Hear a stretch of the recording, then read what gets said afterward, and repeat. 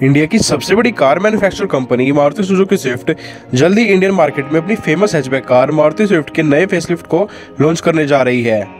नए स्विफ्ट में आपको कई चेंजेस देखने को मिलेंगे, जो इसे प्री फेसलिफ्ट मॉडल से बेहतर बना देते हैं। सो हेलो दोस्तों वेलकम टू कार ओक्टेन जहाँ आज हम बात करने वाले हैं नए मारुति सुजुकी स्विफ्ट के बारे में। तो वीडियो को एंड तक ज़रूर देखना, और अगर आप चैनल पर फ़र्स्ट टाइम आए हो तो चैनल को सब्सक्राइब किए बिना मत जाना। तो चलिए शुरू करते हैं आज का वीडियो। हाँ तो हम बात कर रहे हैं एक ऐसी कार के बारे में जो कई सालों से अपने सेगमेंट में राज कर रही है। बट अब कंपनी इसका नया अवतार लॉन्च करने वाली है, जिसका ऑफिशियल टीजर कंपनी ने अपनी ऑफिशियल वेबसाइट पर भी रिलीज़ कर दिया है। अब नई स्विफ्ट पहले से कई ज़्यादा स्पोर्टी हो गई है, और साथ ही इसमें कई सारे बेहतरीन फीचर्स को भी जोड़ा गया है। सबसे पहले बात कर लेते हैं इसमें होने वाले सबसे बड़े बदलाव की, यानी कि इसके नए इंजन की।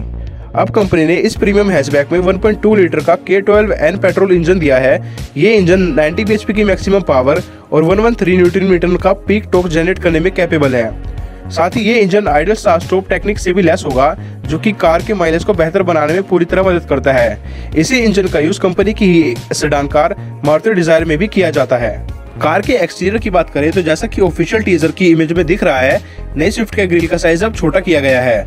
कार के सेंटर में सिंगल क्रोम लाइनिंग का यूज़ किया हुआ मिलेगा, जिसे स्विफ्ट के लोगों के नीचे प्लेस किया गया है। इसके अलावा अब कार में आपको ड्यूअल टोन रूफ का ऑप्शन भी मिलेगा। इसके साथ अब कार में रिडिजाइन एलो व्हील्स मिलेंगे, जो इसे एक स्पोर्टी लुक प्रोवाइड करेंगे। वहीं अगर रियर की बात करें तो इसमें कोई बड़ा चेंज नहीं देखने को मिलेगा।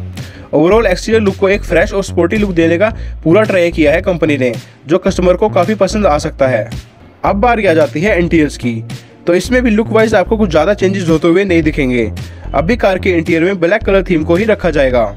इसके अलावा कार में फीचर्स जैसे smart play studio coloured multi information display flat bottom steering wheel auto gear shift technology reverse parking camera automatic headlamps और क्रूज कंट्रोल जैसे फीचर्स इसमें दिए जाएँगे। क्रूज कंट्रोल का feature company only top model में ही provide करेगी।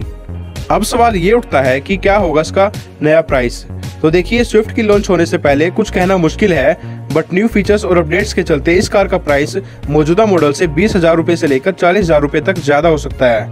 मौजूदा मॉडल की कीमत इंडियन मार्केट में इस समय 5.49 लाख रुपीज़ से लेकर 8.02 लाख रुपीज़ तक है।